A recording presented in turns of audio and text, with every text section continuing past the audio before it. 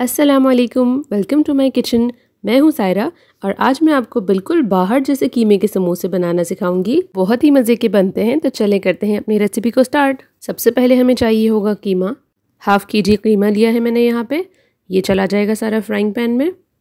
और साथ ही सारे मसाले भी जाएँगे इसके अंदर। Ginger garlic paste one tablespoon हरी मिर्च paste one and half tablespoon आप चाहें तो वन भी रख सकते हैं।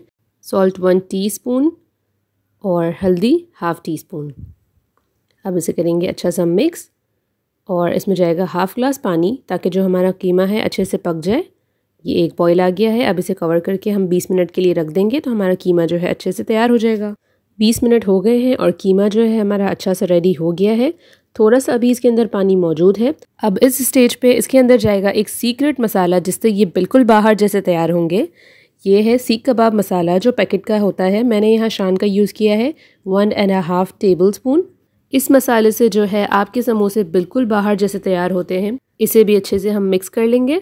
अब इस स्टेज पे जाएगी इसके अंदर प्याज। यहाँ मैंने तीन मीडियम साइज़ की प्याज ली हैं और उनको अच्छे से चॉप कर लिया है।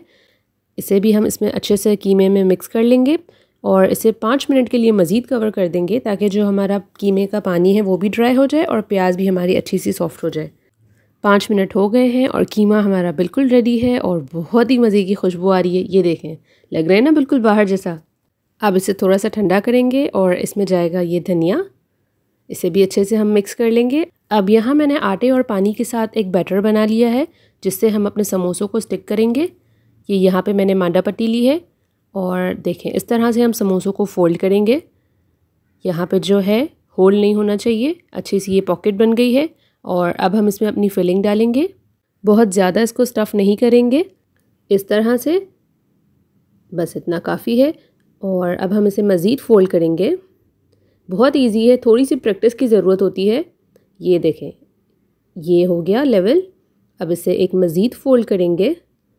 फिर एक और फोल्ड और फिर यहाँ पे हम अपना पेस्ट लगा के अपने समोसे को स्टिक कर लेंगे। आप चाहें तो अंडे की सफ़ेदी भी यूज़ कर सकते हैं, लेकिन इस पेस्ट से जो है बहुत अच्छे से स्टिक हो जाते हैं। ये देखिए हमारा समोसा रेडी है। अब इसी तरह से हम सारे समोसे बना लेंगे। फ्राइंग के लिए ऑयल अच्छा सा गर्म हो गया है।